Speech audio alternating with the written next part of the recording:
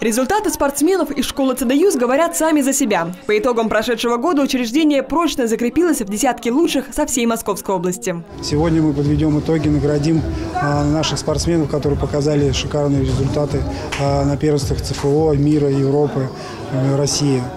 Большое количество выпускников сегодня. Э, Отдельно выпускается отделение мини-футбола 2006 год. И э, дети, которые уже оканчивают нашу школу по другим видам спорта. Центр детского и юношеского спорта – идеальное место для того, чтобы обнаружить скрытые таланты, проявить силу духа и достичь небывалых вершин. Триумфально выдержав конкуренцию со стороны других команд, мытищинские футболисты вновь отстояли честь и достоинство родного города. На сегодняшний вот э, момент э, в этом чемпионате у нас стало 4 чемпиона. Э, Одна команда заняла второе место.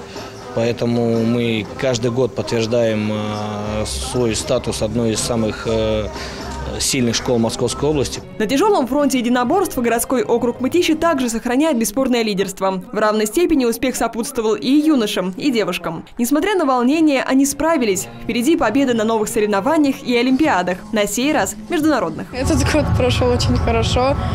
Э, Был трудный, но я совсем справилась. Юрий Сергеевич в этом мне помогает. Пытается также помочь мне достичь такого же уровня, как у Эльмиры Кахрамановой, Екатерины Мытаревой. Вот. Стараюсь на тренировках также. Слушаю тренеров. Это завтра на тренировках они будут серьезные и сосредоточенные. А сегодня можно дать волю эмоциям. Улыбаясь и шутя, спортсмены друг за другом выходят на сцену. Многие снимают вручение наград на камеру для семейного архива. Пересматривать эти ценные кадры можно еще долгие годы. Молодые звезды, некоторые из которых пришли несмотря на травму, чтобы получить благодарственные письма прямиком от губернатора Московской области и главы городского округа Мытищи. А, Учитывая, что наша школа является уникальной, потому что у нас здесь а, воспитанники и занимаются спортсмены, которые а, являются чемпионами мира, Европы, России. Давайте мы им поаплодируем. Это действительно для вас, для подрастающего поколения большая гордость.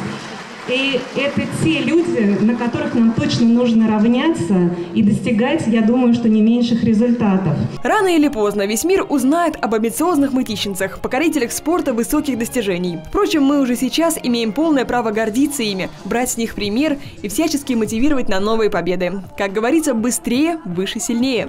В добрый путь. Алина Саваш, Евгений Ощепков, Александр Соломкин, Первый Мытищинский.